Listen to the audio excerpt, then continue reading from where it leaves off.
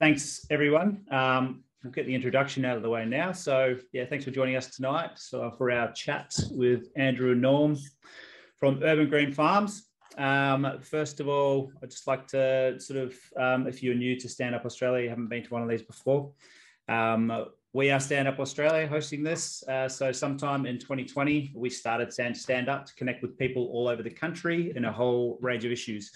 So as we know, the vaccine was just one of the many concerns people were experiencing. And uh, along with other things, we wanted to create communities and connections around the country and give people ways of standing up and empowering them. So we started running face-to-face seminars and webinars like this, educating and connecting people on different topics. So in December 21, we started the Time to Unite tour, which is coming to all eastern states. It's already been through WA, uh, South Australia, and Victoria. It's going to be in New South Wales um, this month and next month. So, and this is featuring Peter Harris, leader of the um, uh, Australian Federation Party. So, and he explains uh, the perfect storm that is upon us for change and the six simple steps we can all take together to return Australia to a free and democratic country. So if you feel like you've gotten value from tonight's webinar and want to support us or just want to learn more about us and uh, where Peter will be speaking next, head to Stand Up Australia now to register your interest. All these uh, upcoming webinars will be on there as well. So just a little bit of housekeeping before we start. Can everybody make sure they're on mute? Um, we don't want to distract the speakers. Uh, the session has also been recorded and will be shared in the coming days with everybody who was registered. So if you can also please save all your questions to the end and just chuck them in the chat and uh, either Andrew or Norm will answer them. Cool. I'll read them out. They can answer them. So yeah, so I'd like to introduce um, Andrew and Norm from Urban Green Farms, and they're going to sort of tell us what they do okay, would you like me to go first, Andrew? I'd like you to start, Norm. No okay, well, my as you can see, my name's Norm Olsen. I'm a soil microbiologist. I've been in the soil microbiology world for probably around 30 years. And I've done a lot of, originally done most of my training in the Nanjing University in Nanjing, China. I spent time in the biological unit at uh, the Beijing campus. I spent two years there learning a lot about different fungal diseases and particularly Panama disease, which we currently uh, experience today in banana plantations.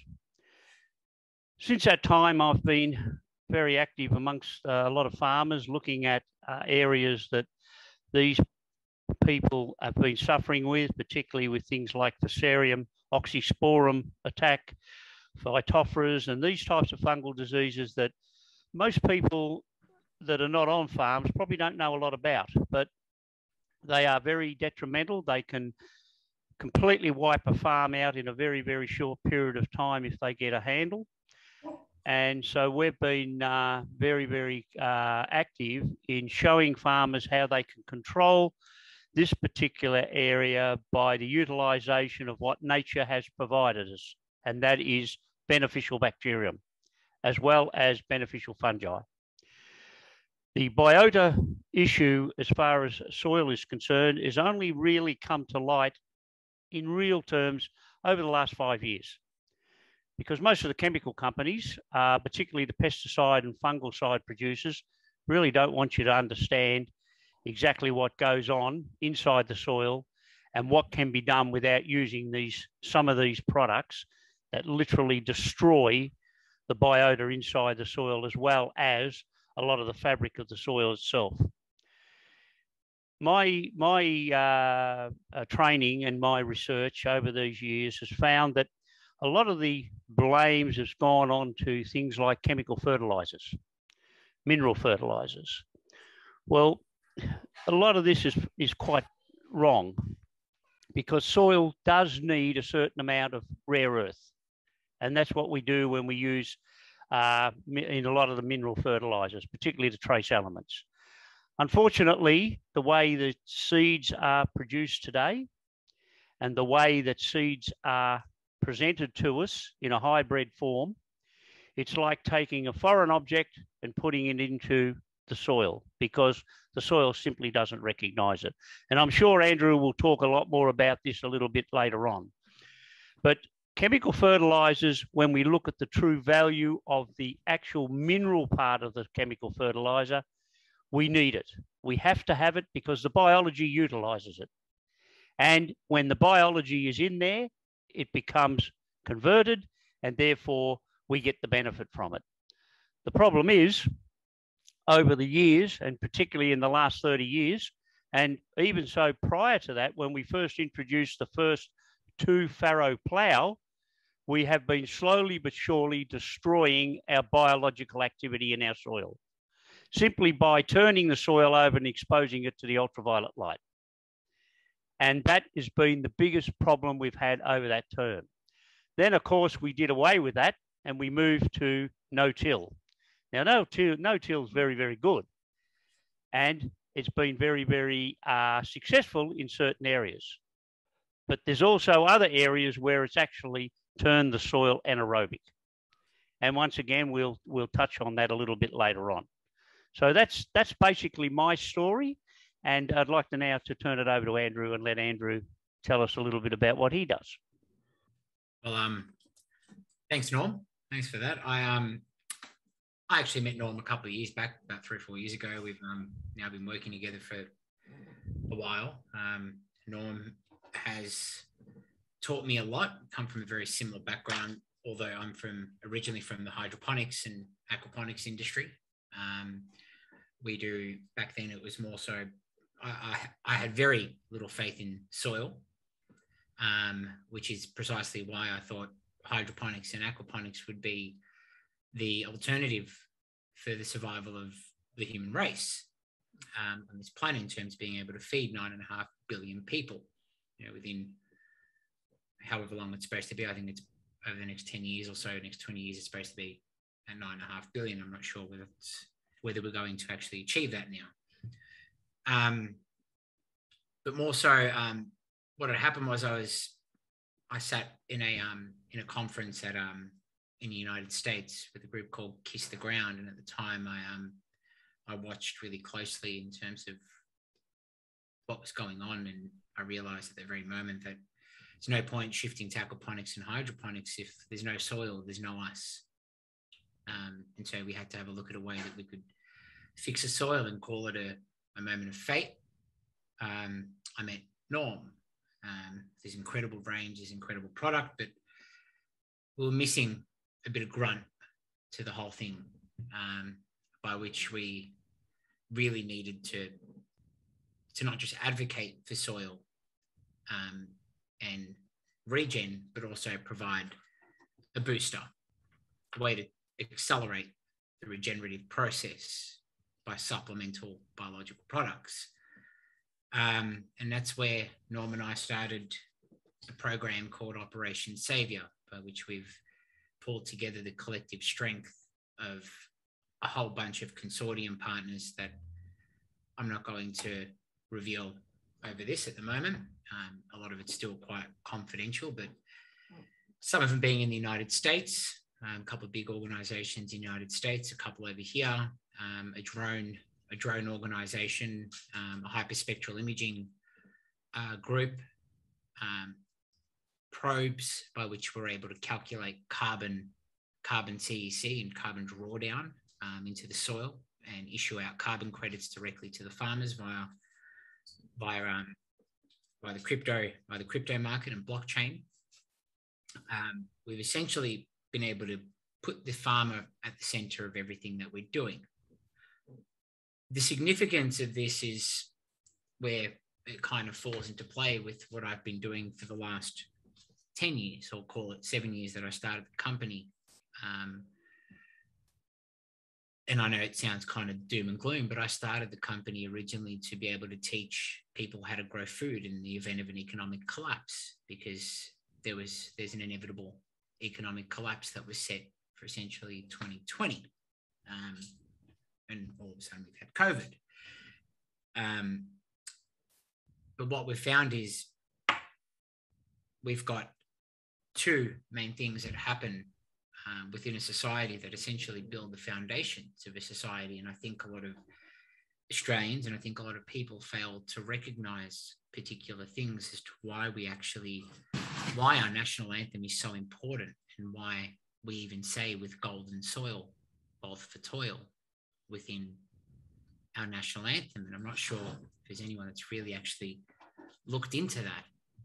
Um, and this and these are some of the things that I'll explain, but that's essentially my story. And you know, we're one of the suppliers to um, the education sector for aquaponic suppliers as well as STEM education. Um, you know, products. We've got a vast range of supplemental, you know, uh, products, glasshouses, greenhouses, products from aquaponic units all the way through to hydroponic lighting, tents, the whole shebang. So it doesn't matter where you are or what you do, whether or not you're in an apartment or on a farm, we can supply, provide, and um, essentially train and teach at the same time. We also have a lot of online courses for schools. Um, and that's what the company does essentially here to provide food security solutions. Um, and that's probably the most important thing that we could do. And the only way that we can provide that security is through soil, through the regeneration of our soil. Um, and that's me in a nutshell. I'm not sure if you want to uh, take over that for a moment.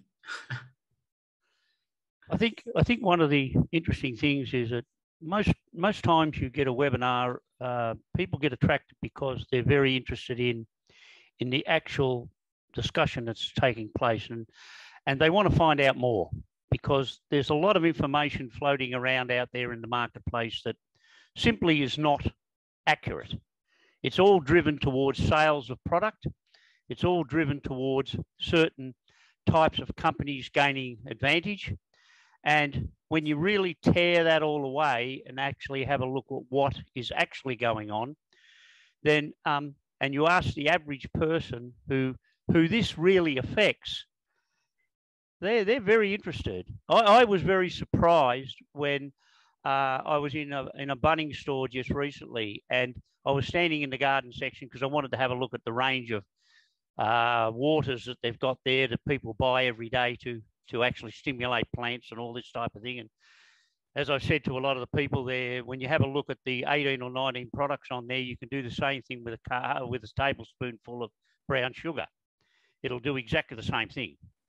And, and, and it started a discussion. But what came out of that discussion was people need to want to know.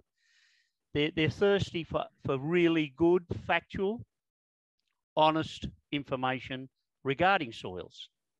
And I think a lot of people would have heard, Andrew and, and others, that soils ain't soils. And that's a very true so statement. Soils are not just soils, they're a living form. Each time we walk upon them, what is happening beneath our feet is amazing. It's absolutely incredible. One hectare of land has 96 tons of different types of bacteria and fungi all grouped into the one area. We have 630 million different genres and varieties of different biota that float around in the soil. And that is only about 35% of what we've been able to actually discover already. There's still a lot out there we don't know. Well, the truth is, we know more about space than we know about soil at this point. So Exactly right. it's bizarre that you know that we're looking outside of you know our own world when we've got a world beneath us that we don't even know about. Well, uh, the world beneath us is is quite complex. It's very well balanced, and nature nature made it that way. It was very well balanced. Norman. It was very well balanced. Exactly right. But today, of course, we've got the lower subsoils, which holds a lot of the nasties that we we experience today, is now finding its way into the growth medium, and that's the first 15 centimetres of soil in which we basically do most of our growing in. And that's happened simply because we've, excuse this language, but bastardized the, the, the beauty of what that growing mechanism really represents. And we've destroyed, without realizing it, by the way, we've destroyed a lot of the fabric which is driven by biological activity within that growing mechanism. Now, today, of course, in the last, I suppose, in the last two to three years, the word biological activity has become normal part of our speech. People are starting to talk about it. They want, they want to know more about it and they want to know what it's about. In the 1980s, when this particular type of uh, activity started to rear its head, we were all pushed back into the black corner by the big chemical companies and said, You're not going to say anything. We don't want to know about you. You're talking rubbish. And yet it was very real and it was factual. But of course, we stayed there for many years and now we're finally being drawn out and people are starting to ask questions. And what. I'm very happy about here, Andrew, is that Mrs. Jones that goes to the supermarket is our biggest advocate. She wants good quality food for her children, for the generations that are growing. And farmers have that responsibility to produce that. Yeah. And right at the moment, farmers don't know what to do because they're bombarded with so much information and so many different products, well, which are good and which are bad. Absolutely. And the farmers are, you know, right now, and what, and, and I think, Norm, what, what we're starting to see is we're starting to see a major problem. It's at the very core of this country is soil. At the very core, it's a farming nation. It's, you know, and it's the heartland of, of what, of what we produce. It's food. Now, um, when you when we really have a look at what we've done over the last 40 50 years with this call it modern agricultural experiment um, it's no different to what happened in in the 19 in the 1930s as well you know when we saw um, across the united states um, you know the depletion of their soil the dust storms throughout middle america um, and this is what really drove my interest in my, my relationship with Norm was was based on understanding what's happened in history. And when we look at history, you can really see into the future. Essentially, we make the same cyclical patterns. And unfortunately, as a, as humanity, we seem to think that we're exceptional from the laws of physics and the laws of science and the laws of Mother Nature as we've progressively become modernized and technologically advanced we think that you know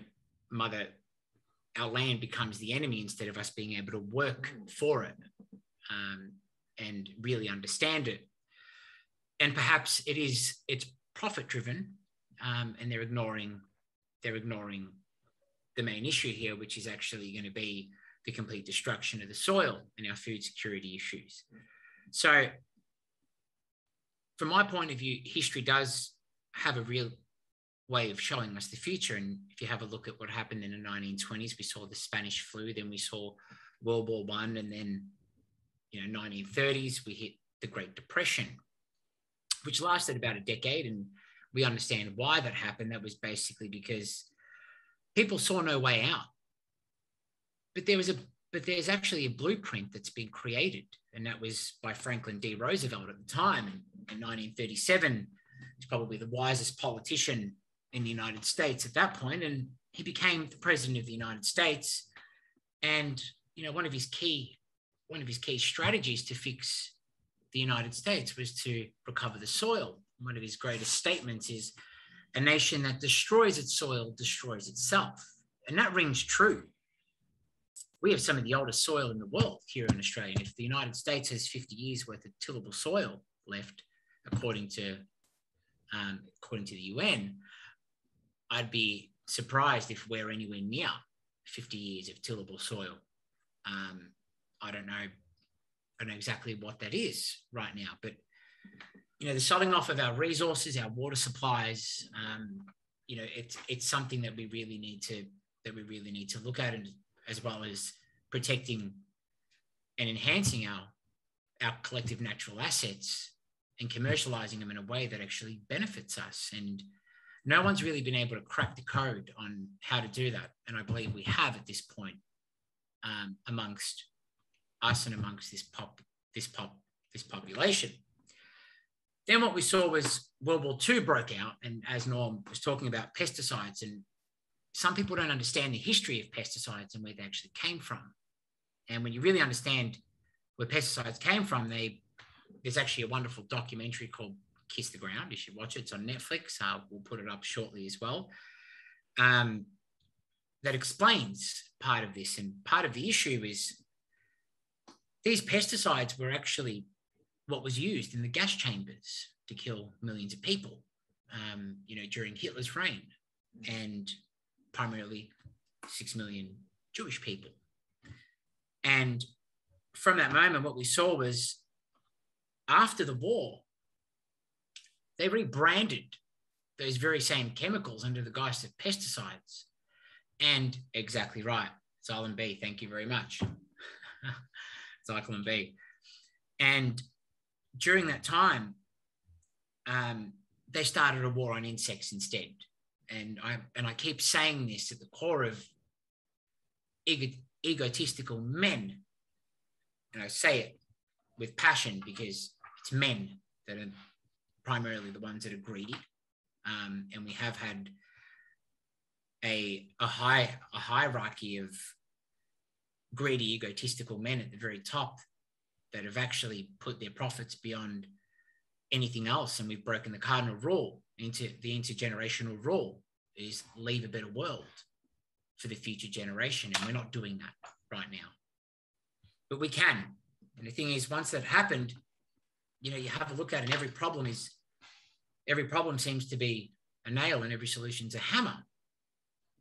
Then in 1973, what we saw was development of hybrid seeds and particular scientists had developed these seeds that you can't actually do any peer reviews on or testing. You need to you need to seek approval. They need to have a look at that. So, um, and these so-called advancements in technology were actually the very same, the very same methods that were actually causing the destruction of the soil.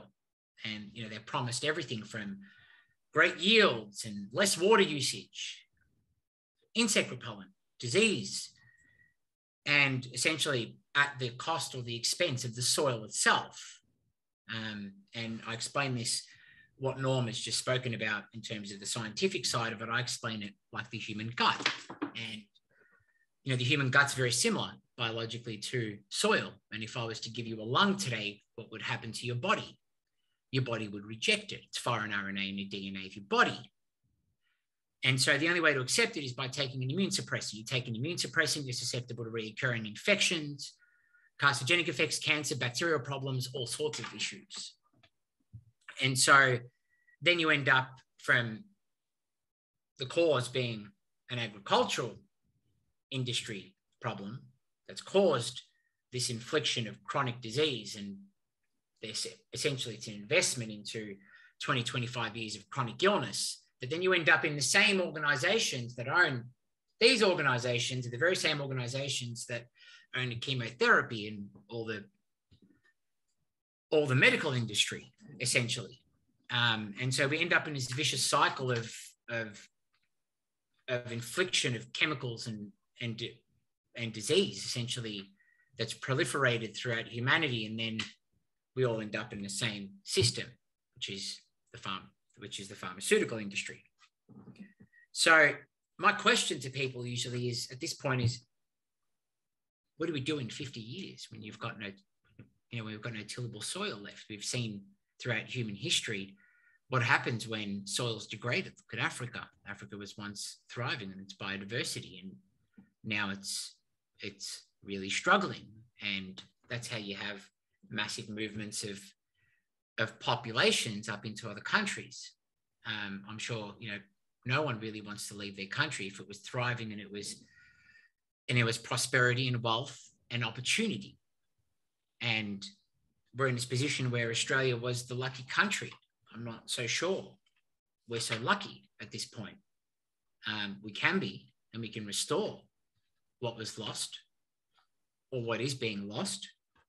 Um, and the sad thing is, you know, I was recently in Colac and we talk about intergenerational farming. I spoke to a 14 year old girl that said to me, um, I said to her, you know, what do you want to do when you grow up? And she said, I want to be a dairy farmer, but dad won't let me.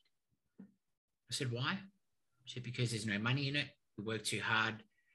And I said, so what are you guys going to do? They're probably going to sell the farm. Who's going to end up buying that farm?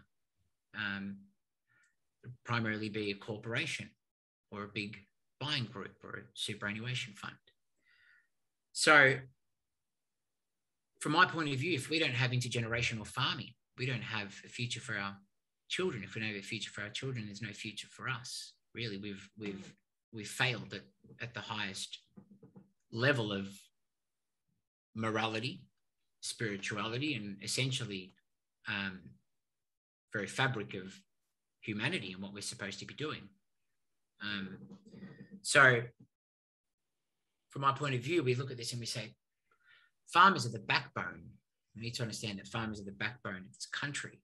And if farmers are happy, and if farmers are supported, and they're provided with the right information to really understand how they can increase their profits, their yields, use less water, and work with nature, um, I think we have a fighting chance to get through this. Uh, I'm not sure if Norm wants to add anything in there. Or, yeah, Andrew. One of, one of the interesting things is that we talk about farmers, and and and I've, I've, I've dealt with farmers as you as I've just said before for over 30 years. I was a farmer myself. I was a dairy farmer when I was 18 years old, and I was around when um, the the first superphosphate started to appear on the market which in those days was just pure bird manure. That's what they made it out of. But when you look at where we've come from since the early 60s to where we are today, we haven't made much progress. In fact, we've gone backwards because farmers no longer control their own destiny. It's controlled by the big uh, corporations, it's controlled by agronomists, and agronomists today come out of a college. They're not taught really anything about uh, biology to a certain extent. They're mentioned, it's mentioned in their in some of their studies, but there's no real hard literature involved in the learning process. So when they come out, of course, agronomists are, are, are, are trained to look at the soil as the chemical companies look at. They look at the way they look at it. That is, in a lot of sense, that's not there's not a that's not a complete uh, a problem in itself because agronomists you need them. We've got to have them. They're the soil doctors. These are the guys that can come in and they can show and change and and show a farmer what he needs to do. However, it's the information flow to them that needs to be rejigged and re, re-established. And I and I keep whenever I talk to people, I come back to the same thing time and time again. The Amish, the Amish, the people who live in Pennsylvania in the United States have got it bloody right. They've been doing it for centuries. Yes, they've introduced modern machinery, but they still have the basics of looking after their soil. It is their God, it's their whole lifeline. It's their soils. Not plants, essentially.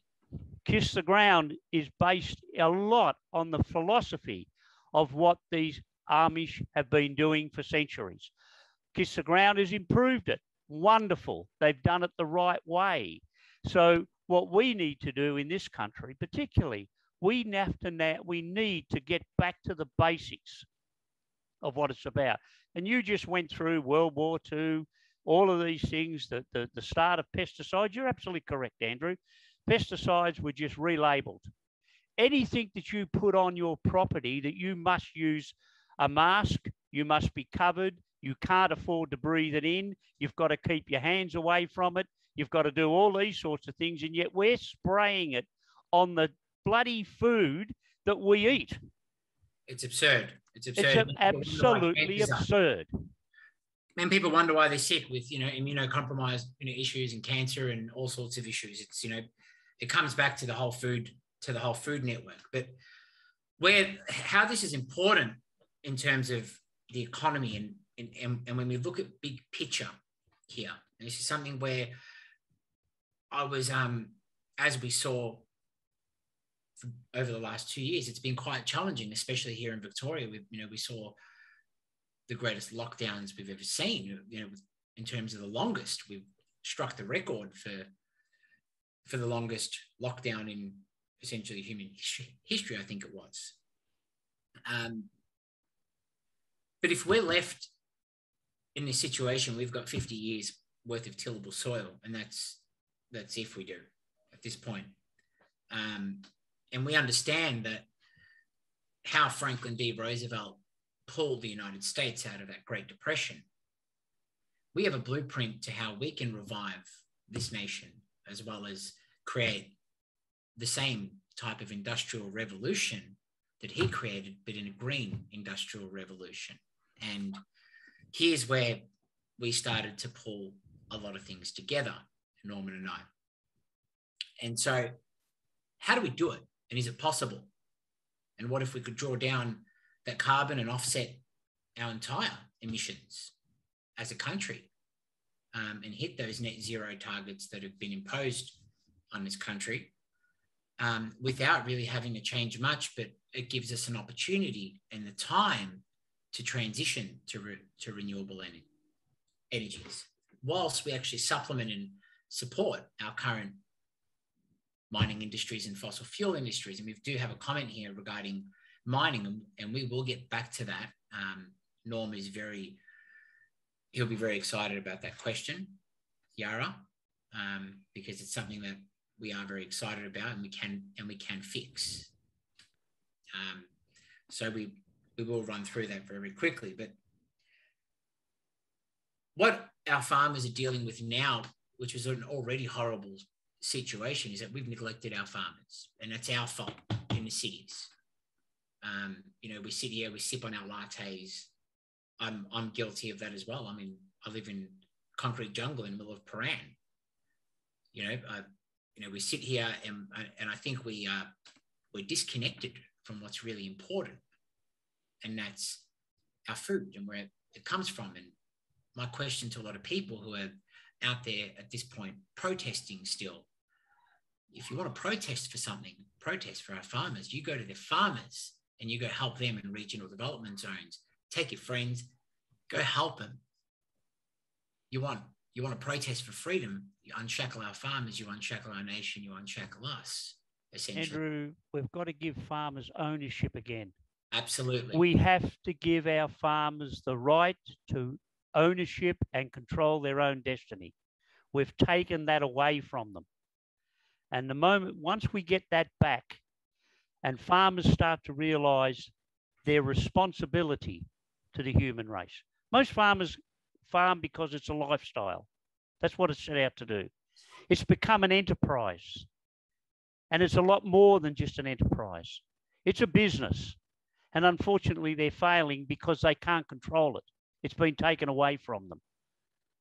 Every time a farmer makes a decision, he's got to ring two people his bank manager and accountant. Or otherwise, he can't make a decision. And if they say no, he doesn't do it. And it's getting That's worse. how bad it's got. Well, it's getting worse now because the cost of ferts has gone through the roof. Absolutely. But not only that, the supermarkets now are going in for the kill. Yeah. The supermarkets are going in for the kill. And what they're doing is they're now rejecting good quality product simply because they want to hold the price up. We have supply. We have product out there to come into our supermarkets. It's there, but it's been held back by the supermarket chains to hold the price. The profit margins are more important than the, the livelihood of the population. Well, That's what it comes down to. And this is and there's ways around that norm. You know, we've got half a million people protesting across the country. How about you stop protesting in anger and go pick up that, you know, pick up that food, bring it out, stay Well, I heard today on the radio one particular very enterprising farmer down near Colac. He's a vegetable grower. The supermarkets walked in and reduced, uh, rejected his entire crop because they had an oversupply. Well, that's a load of rubbish anyway. What he did was got on the local radio station down there and told people, come and buy directly from me. I'll sell it to you at a good price and you can get it direct from the farm. Now, how this is an enterprising sort of person that I like. These are people that we need more of. Well, this is exactly why this is exactly what Serene is doing in terms of you know in terms of co-vision. Um, you know, we are going to start seeing a lot of a lot of networks open up for farming and for logistics in terms of being able to purchase that stock and get it through, you know, and get it through the networks. But more importantly, Norm, what we kind of what we what people you know really here for is how does all this affect our economy, our prosperity, our well-being, and how did it, how does it actually work here? Well, if, if you So- want to, if you want a, a perfect example of, of what happens when an agriculture industry gets to a point of no return. You've only got to look at Sri Lanka right now. Sri Lanka is on its knees. Its governments have dissolved. Ministers have walked out. People are rioting in the streets because they had industries like the aquaculture industry where they were selling prawn or shrimp, a $12 billion industry, deflated to less than $25 million a year turnover now. Jesus. They've got farmers that have just walked away because what they did was the government decided to stop all use of any type of chemical fertilizer and said it had to be total organic. Well, that's a great idea in theory, but you've got to take time to actually get that implemented. And it backfired on them. Now, of course, the farmers, because they'd lost control, don't know how to come back. In fact, I'm heading to Sri Lanka in two weeks' time. I've been asked to come over there by the government to address a lot of their problems they've got there at the moment and see if we can rectify it by introducing new programs into the farming community there. Well, because essentially what all they're doing is they're pumping more. It's just it's more chemical ferts, more energy, more and and and what we call it in hydroponics is lockup. Well, you asked the question of what, what what's this going to affect us? Well, when you look at that, that can happen here. It can really happen here. Don't think it can't because it can. Oh, absolutely. Absolutely. That's why we're here today. And I'm not suggesting for one minute we're at that stage right now. We're not. But we are heading down that road. And we've got to now take action at this point, not when it happens, now to try and curb that problem. There's an old saying in Australia Australia was built on the sheep's back.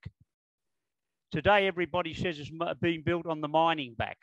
Well, if China tomorrow morning decide to stop taking our iron ore, what do we live on? Because our agriculture industry is on its on its knees.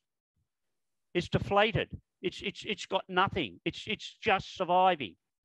So if you take that sort of industry and you start you take the biggest buyer in the world says I don't want you anymore, what do we do? Yeah, absolutely. So which is exactly why Operation Savior exists. Exactly. So, here's where things get really interesting.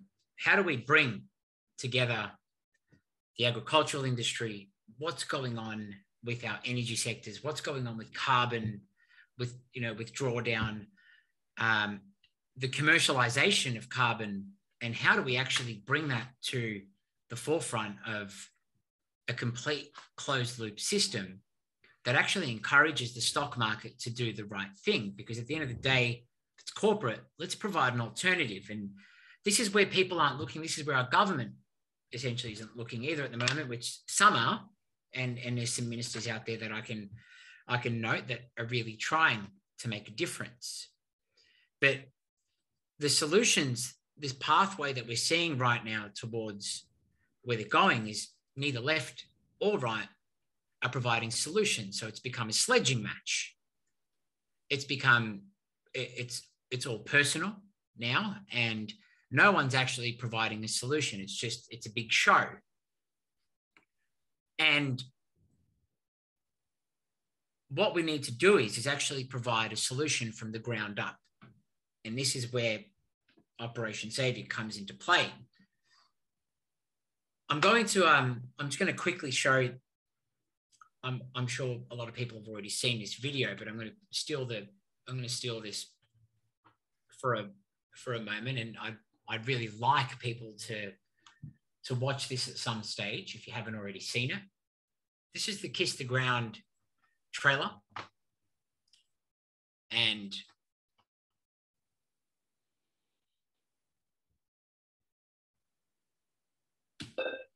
oh, sorry. There's so much bad news about our planet. It's so warm.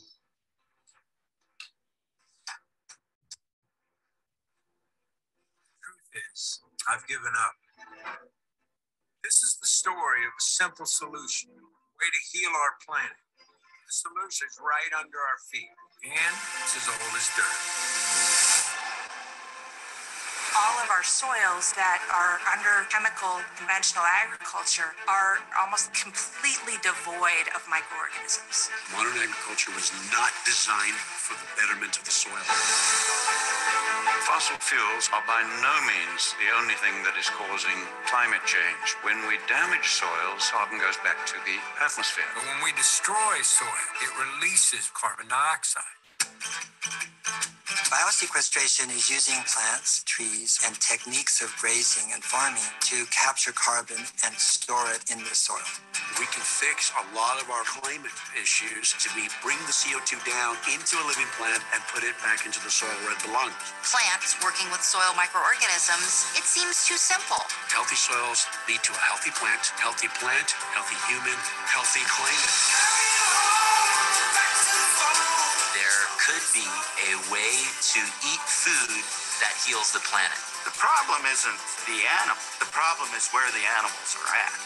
How do we take waste and repurpose and reuse it because it's really not waste? The poop has to stay in the loop. Compost is just one of a suite of soil-based carbon capture solutions. We know how to do it. And if we continue to scale over 30 years, we can reverse global warming. We can get the earth back to the Garden of Eden that it once was by regeneration. To see biodiversity return to a place that was completely devastated, that gives me hope. Our health and the health of our planet are connected. If you look over here, my neighbor's land that has been chemical fallow, then you look over at our paddocks, you have a diversity of different plant species. Which model do you want your food to be produced from? The answer is pretty simple to me. I'll make you a deal. I won't give up, and neither should you. So, so while we while we sit here and there's a lot of information out there now about you know regenerative agriculture, how do we actually take that and commercialize it in a way that works for us and for our farmers and essentially for the entire economy? And that's where the appeal is. We need to provide solutions and alternatives. And you know, for example, I very often I've got a personal um, I've got a personal issue with what's going on in our logging industry in this country, and I'm, I'm going to put it out there. It's it's a major problem, um, and I'm not sure if people know really what's going on in the Highland regions of Victoria. You know, for example, and we're going to come back to a lot of these a lot of these issues, in, you know, in terms of what's going on, and it is it's it's scary in terms of the hypocrisy that's happening here. And on in one vein, they speak of, you know, we need to get to net zero, but yet in our own backyard in Healesville, we have a forest uh, out there that is actually an amazing sequester of carbon, but it's also the most important ecological asset that we have in Victoria, be it we're logging it for cheap paper. And this is what it looks like right now. There's an ancient place very few know about, the land stretching east and across the Great Dividing Range.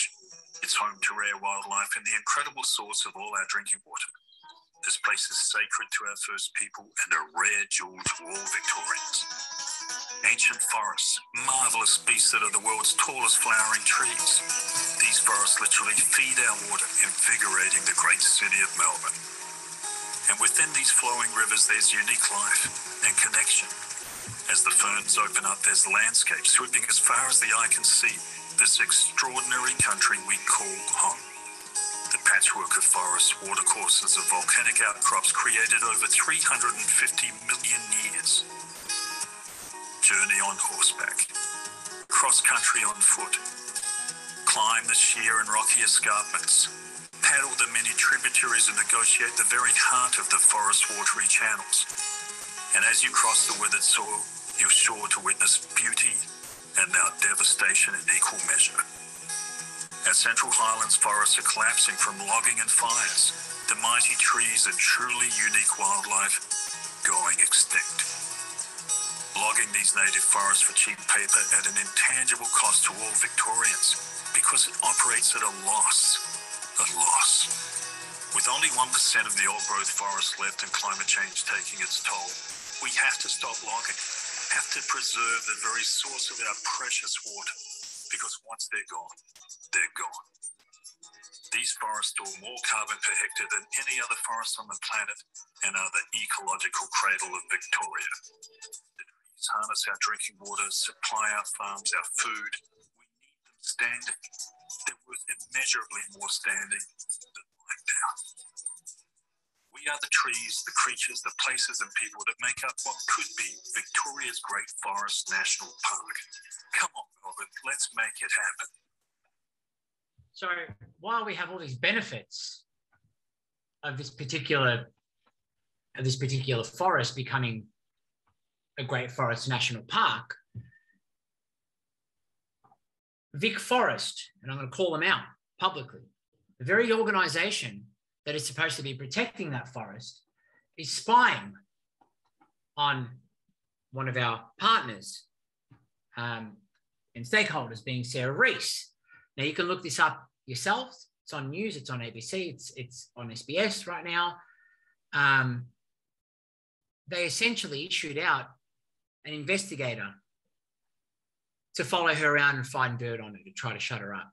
Essentially, to protect 90 jobs in the Highland regions of Victoria, which are unionised, by which there have been no solutions. Labor, Liberal, Greens, Nationals, no one's been able to provide solutions because there's no lateral thinking, there's no critical thinking, and there's no ideas, there's no innovation. And the problem with that is, is it's career politicians and you know career politicians and uh, in government that have been in there their whole lives and really have no clue of the real world. So we end up with these people in there that couldn't even read a balance sheet. My issue with this is there is a solution. There is a way out. And this builds part of Operation Savior, which is hemp. And, you know, we need to make it much easier for farmers to be able to grow hemp as well. A normal way in on this at some point as well.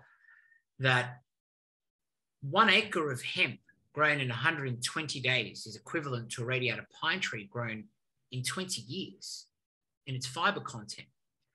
We could quite literally reinvent this country and form a new industrial green revolution and be essentially the leaders in what we should be doing, which is restore manufacturing and support our regional development zones and intergenerational farming and consciousness of our native titles and what's going on here in this country and respecting country Australia essentially.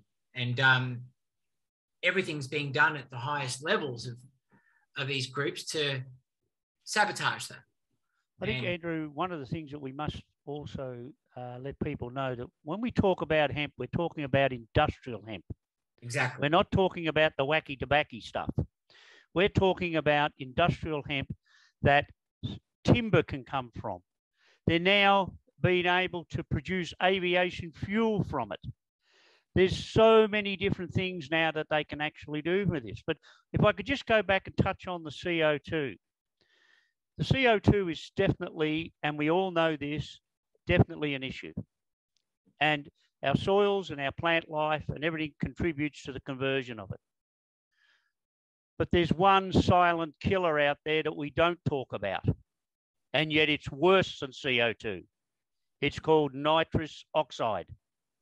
It's in our stratosphere, it controls our weather patterns, and it's very, very dangerous and it is accumulating at an enormous rate because it's produced from everything we do. It's not just factories, it's not just coal mining, it's everything. The biggest converters of this particular gas is biological activity, but industrial hemp, one hectare of industrial hemp can convert more nitric oxide than 100 hectares of any other crop because the plant lives and thrives on these types of products. Yeah. yeah. CO2, it converts more CO2 than any other plant on the on the face of this planet and yet our governments can't see the forest for the trees. Excuse the pun. It's a farmer, it's a secondary income to farmers. They have all the infrastructure sitting there. They can grow it and it can be very, beneficial, very beneficial to our economy. But it's also helping us by Well, growing it. Well, here's where there's a middle ground now. We find the middle ground between, you know, the conservatives and the right wing and the left wing here, and we start to look at where there's a middle ground, where where our policies as as a nation and what our our politicians should be really focusing on is central policies that are neither left nor right, but central to the hearts of every Australian, and that starts with the farmer and our soil. We've got to work from the ground up again. So we talk about this in terms of you know its its potential but why aren't more people jumping on to hemp farming right now and the truth is and i'll make this very clear they're making it very difficult in two particular states it's actually not even difficult it's just confusing so in victoria and in wa they call it low thc cannabis whereas in New South Wales, where there's not much logging going on, funny enough, they call it low THC hemp, and they've got themselves what they call the Industrial Hemp Act. Um, it took me a week and a half to get this document, the application for industrial hemp, because the department kept sending me through to the TGA because apparently I want to grow dope, which I don't. I was looking more specifically for the hemp applications, which are actually quite easy to fill out and will help any farmer or any person that wants to transition into hemp farming. We'll take care of the whole process for them if need be, um, all the way through to the business planning. Um, and as Norman said, it is the fast, it is the fastest essentially sequester of carbon in the world. But how do we bring it all together in a way that becomes viable to the farmer as well as us.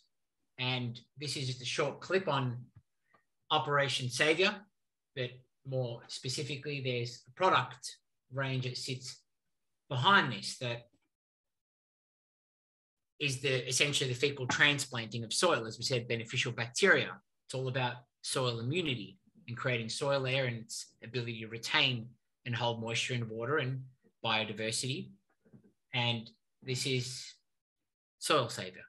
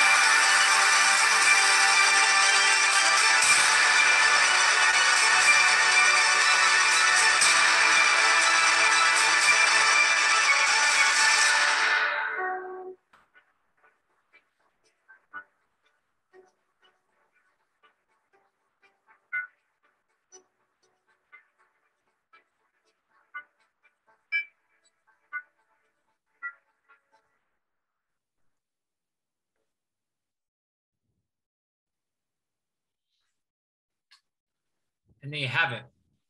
Um, I think the catchphrase here, Andrew, is happy soils switches on what switched off. chemicals have switched off.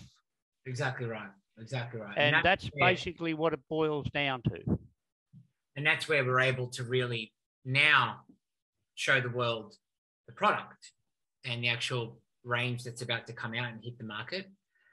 But it's also, I'm not here to sell product. I'm actually here to just give people an idea of what one idea is for how we can fix some of our most crucial issues in this country, but also globally. Um, and that's, you know, if we continue down that path of where we're going, it's insanity. We're, we're all going to fall off a cliffside. We've progressed into regression at this point. But this is how, this is what's actually coming out. But the importance of this is we need, we need to be able to create awareness, just like the organics industry did with organics and the demand for it. There needs to be an awareness amongst the general public that perhaps you shouldn't be buying so many products that are riddled with pesticides and herbicides, and maybe we need to be reframing what organics really is. Um, you know, if we have a look at the regenerative organic certification, it's standard out of the United States, which is called ROC, which is USDA approved, and you know we've got many people in this country, many great farmers and many great agronomists, and who are trying to push for a standard here for regenerative agriculture because part of it is animal welfare, soil health, and then the other part is farmer fairness, by which farmers need to be paid accordingly. They need to be paid fairly, not 20 cents to a litre of milk, which is what they're getting, while you know the guys in the suits that aren't really doing much at the stock market ex- at the exchange are making money off their shares and their shareholders and their dividends. Um, really, the people that are doing the work should be, um, you know, should be awarded the most out of it. And that's not what we're seeing right now. So this is essentially how the pro- this is the product range, how it works.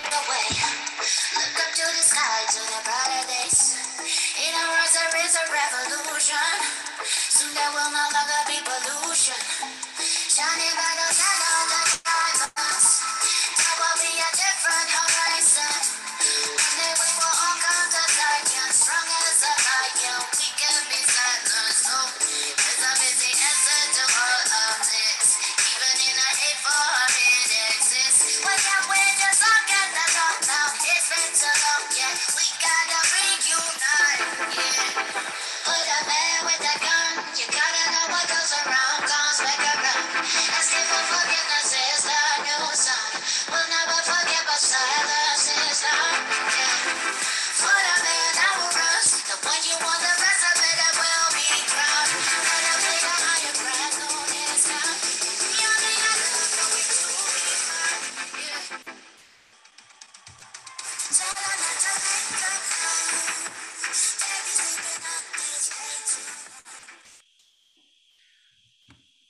importantly, Norm,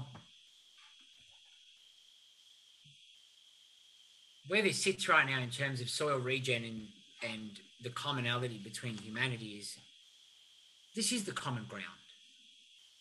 All this fighting, everything that we're doing, um, can really be avoided. And you know, the unification of Australians, you know, we're so we're so divided as a society, but across the entire Western world, or essentially across the world, everyone's divided at this point, and everything's marginal in terms of its it's unimportant. The most important thing right now is under our feet, and it's a war that we should be fighting for the health of our soil, and it's a peaceful war. It doesn't have to be violent. More hands obviously make light work, and we need to get out the message in terms of what we can do as individuals, what we can do as businesses, what we can do as politicians, as scientists, as corporate leaders, wh- wherever you are across the world. We need to focus on fixing the core of the issues, which are our soil. Andrew, in No. World War, when World War II broke out, many of the young guys in Australia were all conscripted. They all signed up to go and fight a war for our freedom. The people who were working on farms were asked to stay on the farms because they were treated as very, very important. Because they were the backbone of all supply that would go to feed our troops. They also would feed our, our communities. They were the income stream. They were everything. And so they were regarded farmers as a very, very important part of our society. But since the middle 80s, farmers have become nothing. Nobody really cares what a farmer does or what he thinks. Yes, there is some people that walk around and they, they say, well, the poor farmer, but that's as far as it goes. And many farmers today, as you know, you've been with me and heard them. They're one GST check away from going broke. And that is not just a, that is fact. It's not a dream. It's not someone trying to sensationalize Oh, something. Oh, no, no, no, It's no. I real. completely, I completely agree. And I've seen some of these, you know, some of these farmers are a million dollars deep in, you know, with debt with with these big ag companies. And the problem is, the moment they try to switch, the ag companies call into debt. Yep. foreclose their farms. and throw them off the farm. And so, you know, we've got to major. Let's call it what it is. Let's not beat around the bush with the issues here. And we're not going to sugarcoat it. We're not politicians. We'll, we'll leave that to Peter to deal with at um, the Australian Federation Party and, and them to deal with. I'm not a politician. And I'm going to call the bullshit for what it is. And it's bullshit. What's going on to our farmers. It's unfair and it's criminal. And this is potentially one of the greatest crimes that's ever been committed against humanity in terms of what they've, the, the destruction of our soil. And we need to stand firm and stand together now and say, enough's enough. Well, we also just to add just to add one more piece to that, we talk about the destruction of our soils and what farmers have been made to do, and the instigators have been the supermarket chains. Absolutely. They're the, they're the ring bloody leaders. They're the people who have forced these poor farmers into doing things that they know they shouldn't do just in the name of profit. And where does the profit lie? It doesn't come back to the farmer. It certainly goes to into their out, pockets. Farmers need to be able to lean on someone or a group of people by which they can check their legals, they can check their contracts, whether or not they're getting screwed in the middle of it.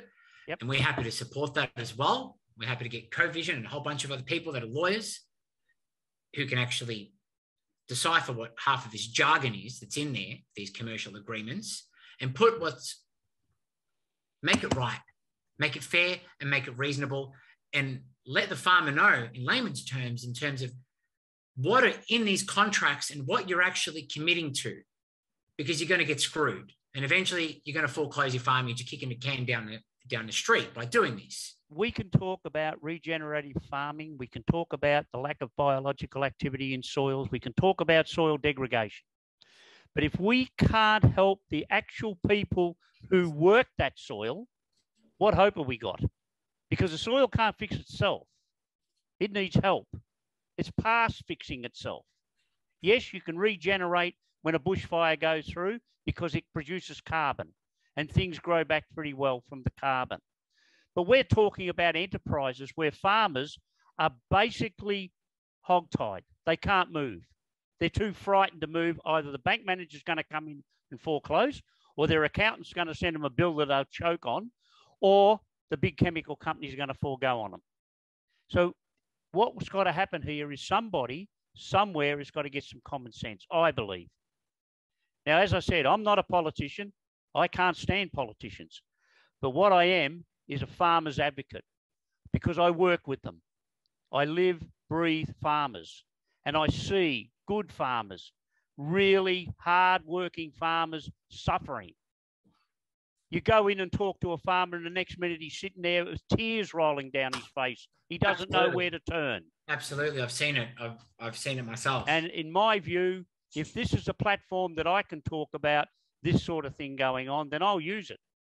Because as far as I'm concerned, every farmer in this country needs a pat on the back and they should be all living a lifestyle. They don't need to be rich and famous. They just need to live a lifestyle that they can pass on to their children and their children onto their children. And that's what we've got to have. Because if we haven't got farmers, we've got nothing. and let's just go back to another cause of this is the selling off of our resources, our water, as well as the logging industry in itself for cheap paper. The alternative is hemp, and the alternative is to redeploy our union members into green infrastructure projects and regional development zones to essentially stop the logging and provide our paper mills and our paper companies with an alternative. And these are the things that they can't do. They can't think about this as career politicians. So it's why they need to lean on true private sector, not your big conglomerates, but your true private sector that are actually coming up with the innovation and the ideas. That's where we can actually start in terms of we need to stop that old forest logging, give it back to the native people, give it back to the first people here. They can, they know this land better than we ever will. And we need to start respecting Indigenous culture here and really understand what their problems are and the way that they manage the land to fix it. Give it back to them. It's theirs. And we're doing the wrong thing. And we keep doing it and we're ignoring it. We've got to get to the core of the problems. So, from my point of view, we're sitting here going, well, you know what? We've got two options here. We can either continue to degenerate and more of the same, and all we're going to find is pestilence and famine and war, or we regenerate, and provide an era of freedom and fairness, equality, neutrality, respect for ourselves, respect for nature, and more importantly, we respect the very thing that allows us to survive, which is our soil.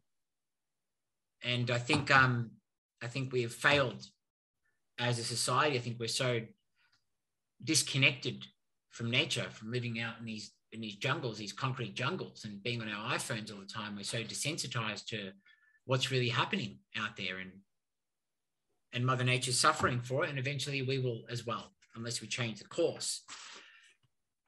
This is what I believe is, from my point of view, this is where we are in terms of what our work is. Everyone has a role to do, and everyone has a job to do in their particular fields to create innovation and um, efficiency. And we need to stop protecting, essentially, as a country, we need to stop protecting fossil industries. And I mean fossil industries like dinosaur industries that are still existing. For example, you know, if we weren't subsidizing BHP or any of the big mining companies or any of the big steel companies, they would already have alternatives. They'd be looking at windmills, you know, for example. But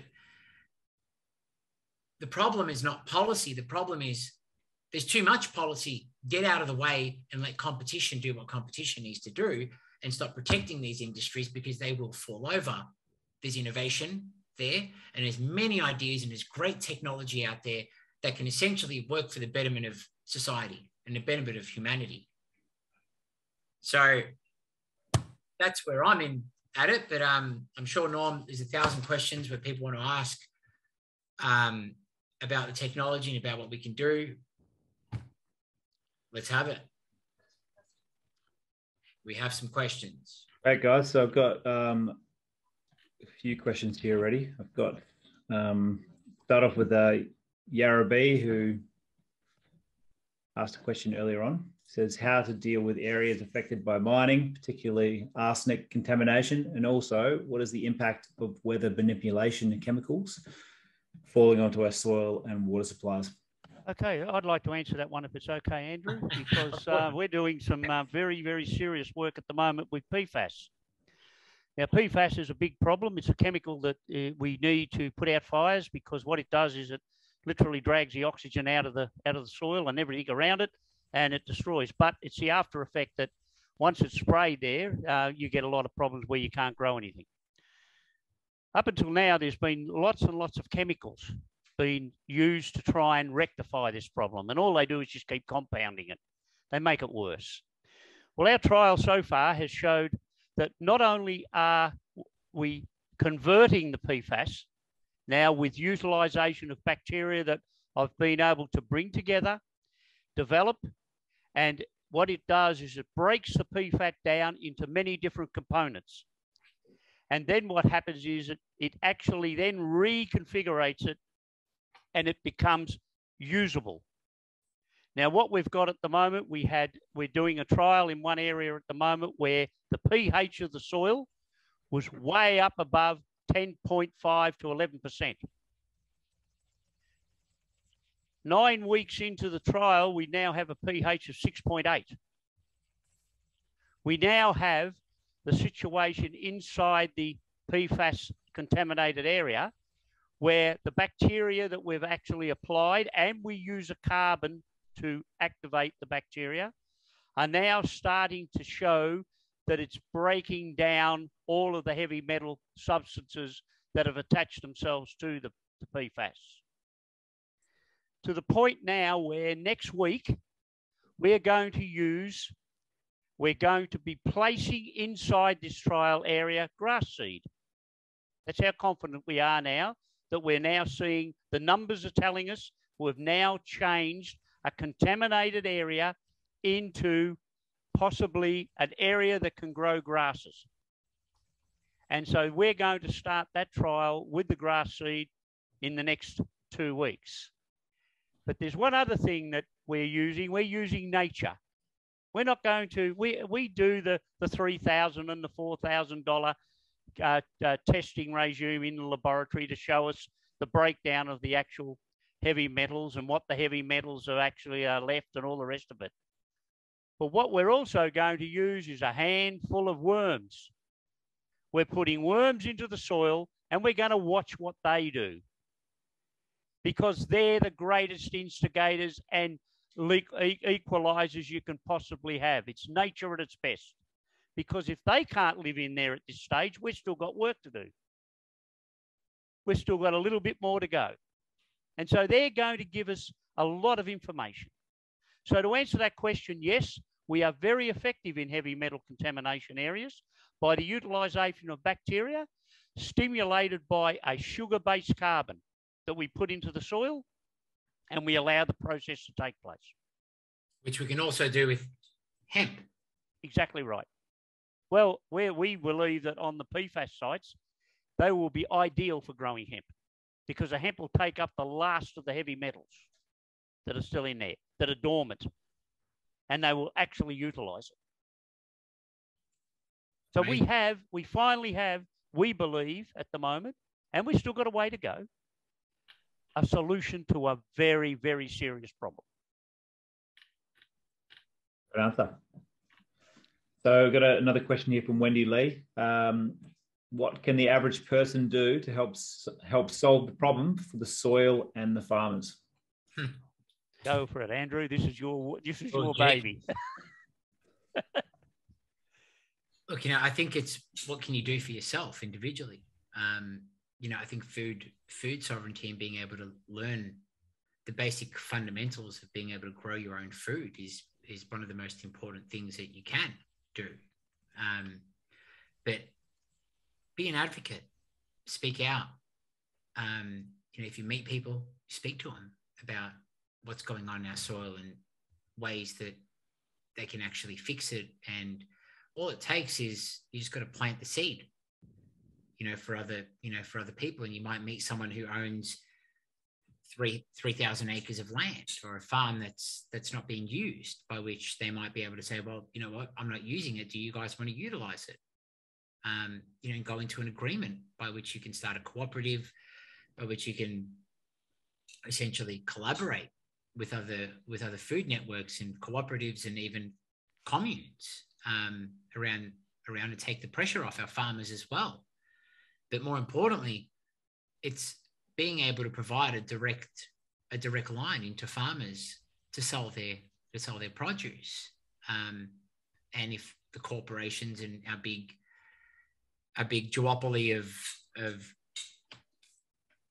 of um, of shopping outlets um, start to see that, they'll start to adjust, um, and their shareholders will start to see the value in regeneration and decentralization of our food supplies and, and commercialization of it.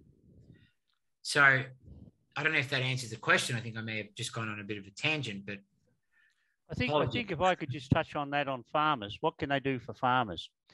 Well, we need people power that goes into these supermarkets. They need to let the supermarkets know that they've got to show respect to the farmers. Absolutely. It's got to start with the people who actually buy the produce. When the little when mum walks in with the two little children, There's the future. The supermarket don't care about them. They tell you they do. But what is going to make them grow is good quality, healthy food. Because most women today, or and men, that take go into a supermarket to buy food for their children, they're very hesitant in buying fresh produce these days. They're looking at it. They don't know what has been sp- sprayed on it or what has happened.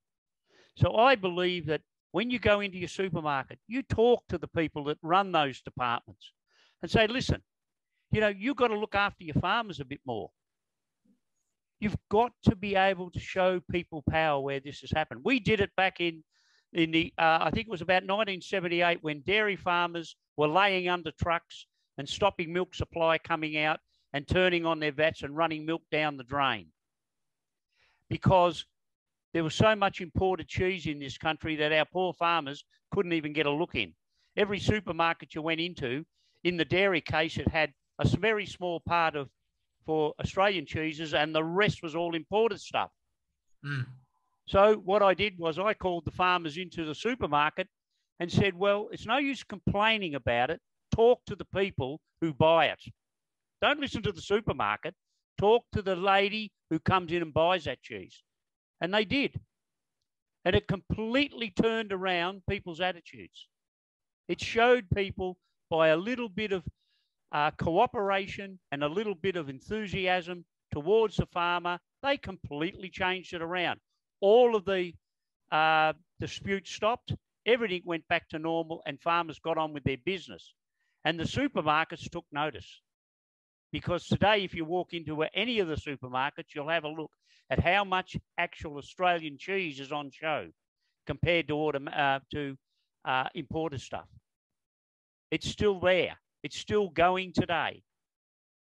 And that was that was through people power. So to answer that question, I think in some way, what can they do for farmers? Talk about them. Talk about the farmers. Get the farmers top of mind. That's what we want. That's what we need. We've got an extension of that question from Satya. Um, she just asks, uh, what can the backyard farmer do to help their backyard soil in their own backyards? Well, that's a that's a that's a very good question, and it's it's not a hard thing either. It's it's a very simple. Most backyards, uh, I believe, I do it myself. I grow my own tomatoes and grow uh, my own vegetables in my own little garden that I've got out here, and I do a, a fair bit of research too, having a look at how the bacteria work. But always make sure that you you look at your soil and see do a soil test. It's very simple. And there's two things or three things you look for in a soil test. One is pH. The other one is a thing called CEC, which is showing you the energy of the soil. That means what the soil can actually convert and how the, uh, the soil is going to perform. And then, of course, you can then look at your nutrient loads and all your rest of your minerals, which, which come into that. But don't overdo the fertilization start with the basic. Get your biological activity doing the work for you. Because everything you put on soil needs to be converted. What people don't understand, in a lot of cases, they don't understand this, is that it's not the product you put on the soil that makes the plant grow. It's the bacteria and the fungi that is converting that product so the plant can actually take it up. Because the plant only takes up polysaccharides. It doesn't, it doesn't look for prices. It doesn't look for brands. It takes up polysaccharides. And those polysaccharides are produced through conversion of the nutrient and the minerals that you put into the soil by the biological activity and the fungi. And so if you get those counts up, and they're very simple to do, it's very easy. Today you can go and buy a little biometer. And those biometers, what they do is say you take a little bit of soil and you mix it up in a bit of water and a solution. You leave it for 20 minutes and you put it on, on your on this particular little instrument and your iPhone actually reads the level of bacteria and fungi in that soil structure for you. And that, that particular test saves you about $900 for a laboratory to do exactly the same thing. And I think Bunnings and some of these other places do have them. We've got them as well. Yep. You've got them. Urban Green Farms has got them. I'll, I'll be posting the links again, guys, um, to the websites after this. So just um, check out the chat box for those links. So I've got a question here from Janet Sexton. Um, does a hemp crop Janet, need to how are you? Janet, Did they- reveal yourself, Janet. You can take yourself off mute if you want, Janet.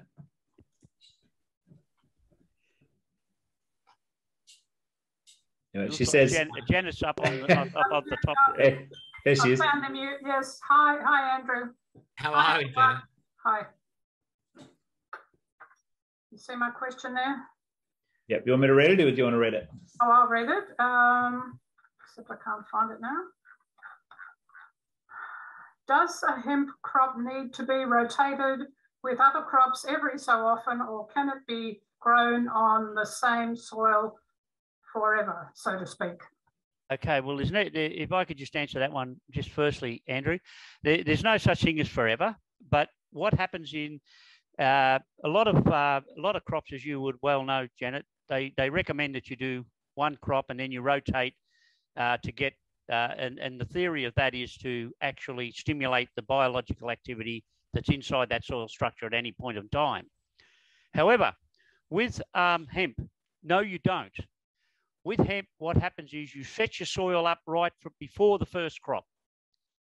And then what you're doing is constant, you're monitoring it as you're going through. So hemp is hemp contains more biological activity inside its xylem than any other plant on the face of the earth.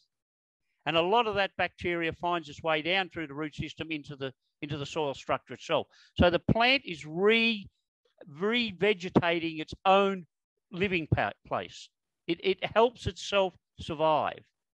So, in real terms, you could probably, before you need to grow another green crop, you would probably do eight or nine crops of hemp, and then you could come back and do a green crop and then start the process again.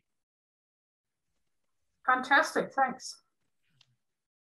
And Janet, we will help you with those. Um, we will help you with those applications anyway. So we're here. Okay, great. Thanks. Next question is from Scott Barker.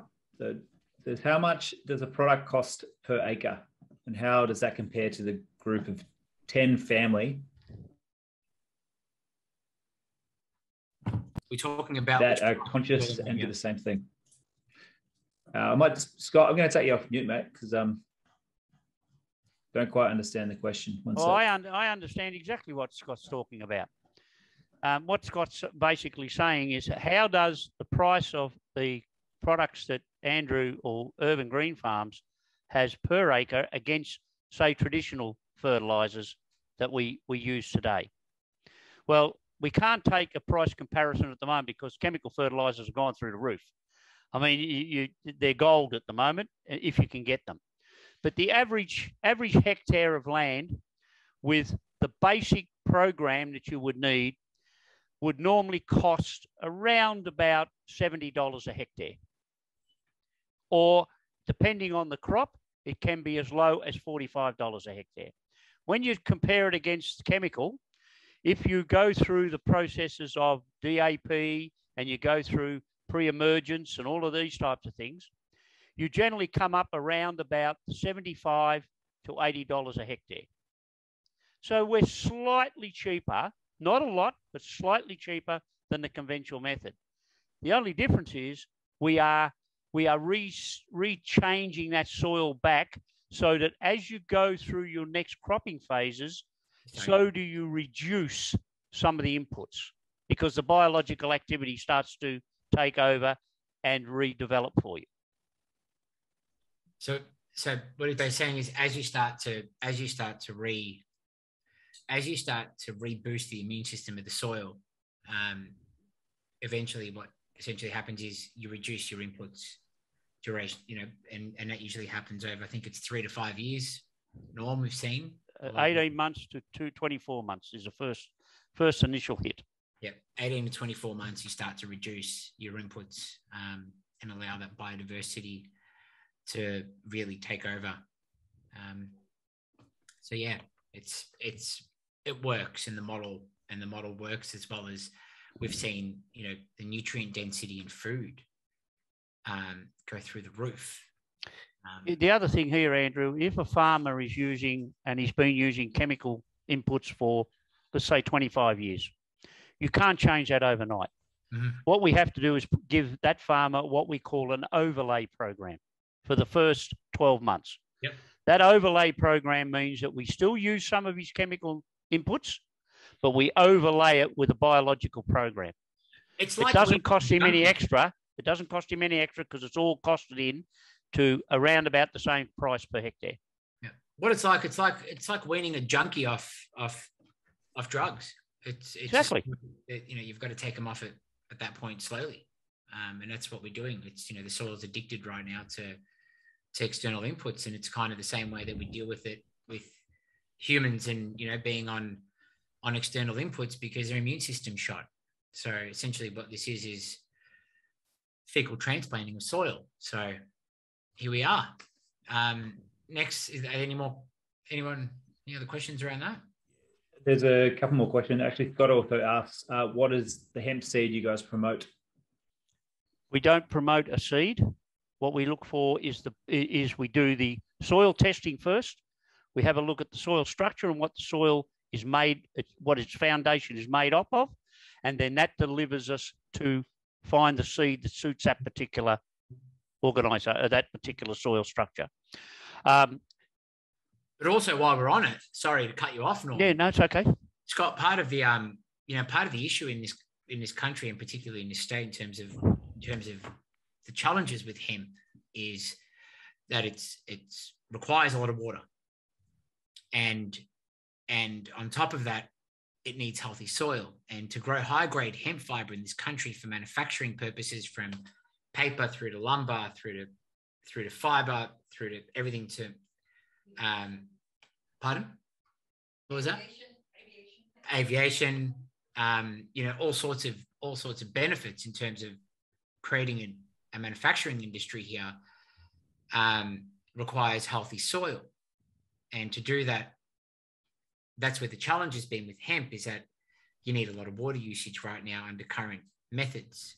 We can change that and we can flip it over and we could use the hemp to essentially be able to restore the soil at the same time while we use that fiber um, for other, you know, for other means. There's, I think it was two and a half thousand different verticals that we could use hemp for. Well, 6.5 to 6.8 is an ideal um, pH level for industrial hemp. Also, something that a lot of people don't look at when they're growing this type of crop is hydrogen level. Now, the soil must have a hydrogen level of 1.5 to 2%. And if you've got that, then you're activating a lot of the biological activity that's already there and you're adding to it. And bacteria produce moisture. That's why you can say we reduce the water content or the moisture content because we're substituting it with the biological activity. Mm-hmm. But also, they're, that- they're dragging a lot of the moisture from the night air. and that leads to soil air as well, which is something that people Yeah. talk about, that farmers don't talk about. Is soil air is, is is critical, and it's something that we often say in terms of if there's no soil air, you're reducing the aggregates between it, and essentially you're not allowing that that soil to breathe. Um, Well, you turn it anaerobic. and it becomes anaerobic. And so, you know, we need to switch that. Essentially, what we do is we're, we're switching it all back on. And hemp is a great way for us to speed that process up as well in combination with the products, but also start to look at how that actually supports local rain cycles as well. Because when you desertify soil and it's bare, 40% of our of our rainfall inland comes from local rain cycles. And that happens because that's why you have a rainforest. It's called a rainforest because you're creating humidity cycles and it creates clouds. And essentially we go through the cycle of, of rainforests. And so that's why part of the most important, you know, some of the most important things that we need to do is recover and restore our rainforests and our, um, you know, to essentially restore local rain cycles, which is part of the problem is we're running out of water. We have 3% worth of fresh water left on this planet and 97% of it's salt. Um, and you can see those studies out of Dr. Alan Miller out of the United Nations, who I've spoken to at length, um, you know, numerous times about this. He's concerned. He, he's, he's got a book called The Three Black Swans. And, you know, essentially, when you look at history, you look at now, it's that's the only thing that really immobilizes violence and war is full immobilization of war is led by water. Um, and we're running out of it. And that's because of what we're doing. So we can actually start to restore those local rain cycles through regeneration. Any other Any questions? more questions? Got uh, a couple more questions. You guys got Yep. time for that? Yes, we have. Yep. Fantastic. Great opportunity to get it out there. So this one's from Murray. Um, I'll read the first part out, Murray, uh, and then. Uh, so, how do we rid ourselves of the supermarket duopoly we have in this country? I think you've already covered this a bit um, at the end of your speech before, but is there anything else you want to add? I think I think one of the things is it's, it, it, there's an old saying in business. It's called a slow burn, and and this is exactly what we've done because the supermarkets have got a real good grip. They they they forced the deregulation of the dairy industry. Now the dairy industry needed to clean up, but not under the circumstances it was done. The mum and dad farm went by the wayside, and the big corporates come in, and that's what the supermarket industry is driving to. It's driving for the big corporates to take over the mum and dad generational farming so that they can control it better. They can control prices, they can control input, output, they can do the whole lot. And, and it gives them a nice little comfort level. What we need to do, we've got to break that cycle. We've got to get farmers to start to fight back. It's not, this is not all about people power, this the people who buy. It's also the farmers have got to help themselves. And unfortunately, farmers are creatures of habit. Anything past the end of the front gate doesn't exist. When it sits on their land, they get worried about it. And so, what we've got to do is we've got to slowly do like programs like you've got here. These are perfect platforms to get the message out there to allow people to understand that there is a real disease out there. It's a real and it's growing. It's not just the soils, it's more. Well, let's talk about that for a moment, Norm. You know, Yep. you know, when we first met, and and really when we started to look at, you know, all of these human contracted diseases as well, and you know, you said something to me that was quite, it was quite um, compelling and alarming at the same time. It was every disease starts and ends in the soil. It's, it does. starts from the soil, and I think people need to understand that. That's you know, I, I think a lot of people really don't understand that. Um, and I'm and tell me if I'm wrong, but um, I think people need to understand that relationship. It'd be great if you could explain that. Well, if we could just use COVID, for instance, COVID is a perfect example of, of soil borne diseases. COVID is, a, is, is basically a bird flu. That's what it mutated into. But its mother lode is Fusarium oxysporum. Oxysporum can either be positive, it can be negative, or it can produce what we call a chlamydospore. If it's positive, it has a negative positive aspect to it, and nine times out of ten it'll stay nice and positive. If it's a if it goes into what they call a, a different spore structure, which is a macrospore, it has the ability to produce a negative or a positive or a virus. But when it gets to a chlamydospore, its mutation process is it can mutate 32 times in 20 in one minute. 32 times in one minute. Its mutation value. Now, what it does is that coronavirus, being a bird flu, if you want to track back its history and its DNA sequencing, it all starts from the poultry industry. It's bird flu. It's mutated. It's learnt how to affect humans. And unfortunately, politicians seen this as a great big soapbox to jump on and have a great old time with it. We've had COVID in this country since the early 60s. It's been here, it's been called so many different types of influenza because that was the type of mutation it was forming at that time. As the soils have depleted, these mutations become stronger and they start flying off in different directions. So when you look at the COVID virus, it's made up of seven, uh, it's five, uh, four different mutations. But the, the, the, the, the gene itself is H5N1. This gene, if you want to go back into bird flu, you'll find this gene exists all the way through.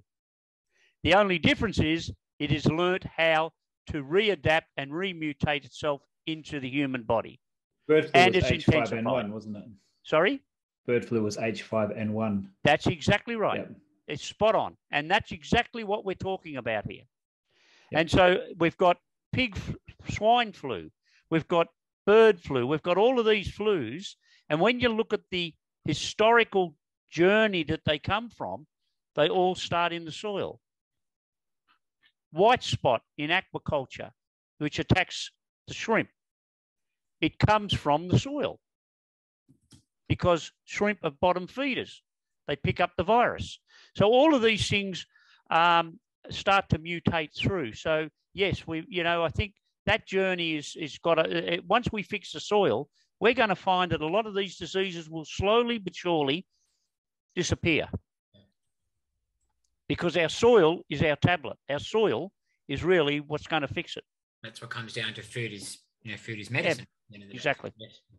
Well, the food makes you stronger. If you're weaker, then the virus has a better chance of attacking you, as you can see by the people with comorbidities that are Yeah, well, it's, getting it, knocked it, off by this. it does. It, it attacks people with low immune systems, and generally that a low immune system has happened happened over a period of time. It can be living living styles and all of that, but a lot of it, when you start to have a look at it, if you look at the the nutritional value of food today in 2022 to what it was in in 1940 or 1950, there is no comparison. Today, the food you eat has very little value to you because it's force grown. Every seed is hybrid, it's genetically modified. It goes into a soil structure that doesn't recognize it. So they use chemicals to justify it. And this, this whole cycle continues to keep going. And we've got to stop it. We've got to reduce it. But we can't do it overnight. It's a process. As I said, it's a slow burn, but it can be done. And we need to continue to keep at it, keep talking about it. As I said, programs like yours, we just got to keep talking about it. Yep, great. So I've got I've got another couple of questions here, guys. Um, one from Yarra B. Uh, shall we use hemp crop as a green manure crop to stabilize the soil before we start growing any produce? You can, This in a small scale. yeah, you can. You can use hemp to do that, or you can use any any uh, any of the uh, of the the seed crops that are out there. You can even use lucerne. Lucerne is a, is a very good one because it's uh, it's full of proteins, and and you can get them in. One one of the interesting things that we haven't talked about tonight, which I think is a very important point, and and this question is a very good one because it brings this point up. Not many people understand the terminology ADP to ATP. Now, in the soil, we have what we call ADP molecules that get converted into ATP molecules. Once it's, it's converted to ATP, it becomes a protein. It's this source that provides the energy for the biological activity to start converting and do their job. What we destroy and what we, we without realizing, well, I think they realize it, but by putting on too much chemical ferts or overloading the system, we generate too much heat. That affects the conversion ratio of the ADP to ATP. Once you do that, then your soil is really struggling. It's the same as your body. We talked about the immune system before. The reason the immune system breaks down is the body can't change the ADP to ATP.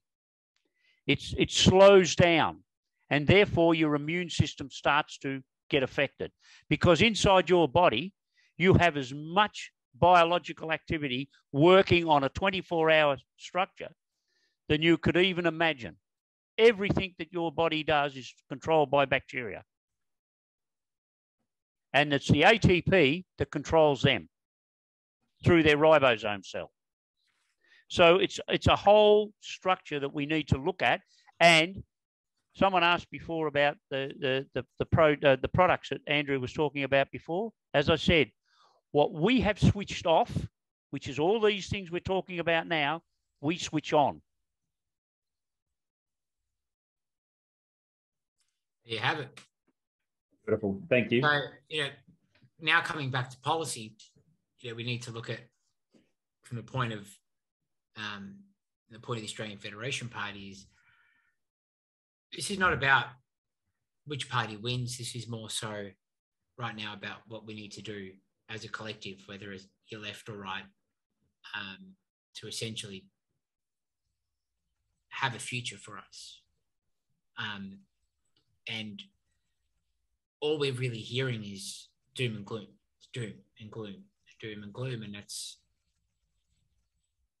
something more powerful than fear, and that always comes back to hope. Hope is always more powerful than fear, and that's what got the United States through the Great Depression in the 30s as well, which was they saw a way out. People need to feel like there is a way out. And we can start that. And all it takes is, you know, just like starting a wildfire. Starts in one spot, spreads everywhere. And the more people talking about this, the more people talking about alternatives, the more people promoting and pushing on their friends and families in terms of where the real issues are. To forget about what's going on in social media, let's forget about what's going on with Farmer Wants a Wife and all these ridiculous shows that are out there and TV series and binge binge series watching on Netflix. We need to really have a look at where we've lost our way and what we can do to fix it and dedicate time and effort into it, whether it's economically, whether it's educationally, whether it's environmentally, then we need to start with environment and become stewards of this country. And potentially even we need to learn from first people here and respect them and bring them up, you know, bring their laws up to where the Commonwealth laws are. They shouldn't sit below the Commonwealth law. They know this land better than we ever will.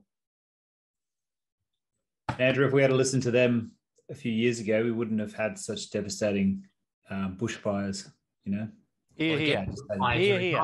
The bushfire is a result of, des- of desertification, yet the logging industry turns around and says, no, you've got to log it or you're going to have bushfires. No, the reason why we have bushfires is because of the logging, because you've reduced the moisture in these rainforests where you've got low rainfall now because you've destroyed local rain cycles. Well, the other thing too, Andrew, they stopped allowing the cattle to go in there and graze.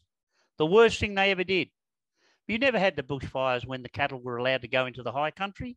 The cattle don't eat anything that they, they're going that they don't like. And it will grow back if they do eat it. It makes it better. And by stopping that, they created this underbrush. And of course, when a fire gets in there, it just goes crazy. It's ridiculous. They've got to open that high country back up again. They've got to allow farmers to control it and do it the right way. Well, they've got to do it in they've got to do it in collaboration. That's with, exactly right. With with the Aboriginal communities that yep. their native title, and know, they, they've got to work together on it, and that's what we really need to do. You've got unity here rather than division, and all we seem to be doing is creating more division. And until we, as a country, start to acknowledge and tell the truth about what we've done um, to these communities as well, which is it's a it's an atrocity in itself. Um, then we don't then we're never really going to heal emotionally, spiritually, and environmentally. So we need to start fixing it, and we've got to start from the ground up. And essentially, what what we need to be is Australia can either be one or two things. We can either be the launching pad for war, or we could be the brokers of peace and become a light to the world. And we have that opportunity. We've got one or two options. We can degenerate with degenerates and degenerative policies that continue the status quo, or we can regenerate. You take your pick. Good. Any other got questions? one, I've got one last question here, and if anybody has another one, just pop it in because it's um, we probably should finish this up shortly. Um, so last one is is it's a pretty short one. It's from Hans, and he says, "Where can I get biom- biometers or biometers? Biometers, yeah." Well, um, we've got them in stock. We've just got to get them up onto the site right now. Um, we've got plenty of them, so give us a give us 24 hours and then come and slam the website. At that point, we'll we'll have it on for you, and we'll have a code for everyone that has attended here. Lovely. Will that be passed on and put into the the um, replay? Yep. The email. Yep. Okay. Fantastic. Um, if everybody has seen that I put the links up earlier, I'll just chuck them in there again for everyone. One second.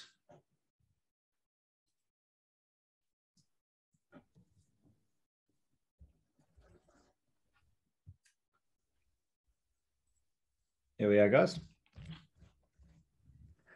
So all the links are there. Um, jump on if you're not part of our mailing list yet. Jump onto the website and go down to the bottom left-hand corner there and sign up. Um, you'll get updates about all these, and uh, also if you've signed up for the webinar today, then you'll also get that code, so you can buy those bi- biometers. Are they, Andrew?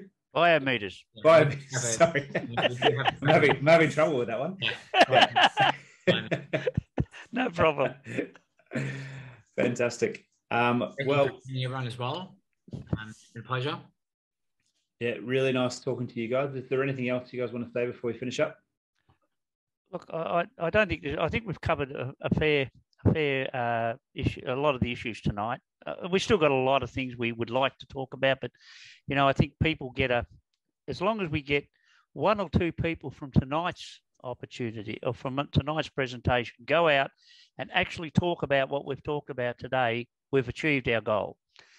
You know, as a as a soil microbiologist, you know, I see and understand a lot of things that are going on, and you know, a lot of the the the problems we see, we can we can identify them because we can see them. Where the big danger is, is what we can't see, and that's what that's my world. I live in that world, and and believe me, I'm seeing things that that it's just it's it's terrifying when I think that we are creating it ourselves. So we've got to do something. So if anyone wants to do anything, as I've said to a lot of people before, if you live in a home and you're lucky enough to have a garden, look after it because that is part of your lifeline. Healthy garden means healthy household. You have a nice, healthy garden, and I can assure you, your children will love it.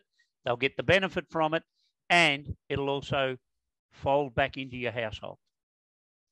So treat it with respect. Don't overload it with all the, the jargon of chemicals or whatever they want you to put on it. Use common sense. A plant is a living form. If you if you if someone says to you you've got to take this and you're not real sure of it, why take it? If you're not sure of something, jump on the website. We'd be only too pleased to answer your questions for you and allow you to gain a little bit of knowledge at the same time. Great way to end. Thanks very much, Andrew and Norm. Um, yeah, we'll be checking out the website, and um, I'll definitely be using your tips on my pathetic garden out the back of my house. So, Hey, if you need to jump on the site, we've actually got the pre-sale now for Happy Soils. So we've got bundle ranges and everything happening already. So jump on, feel free to, you know, we'll, we'll shoot you out a code and, and we'll go from there. definitely, I'll be in touch. Thank you very much. Thanks, guys. Thanks Thank everybody you for very coming. much. Thanks everybody. Bye. Bye. Yeah.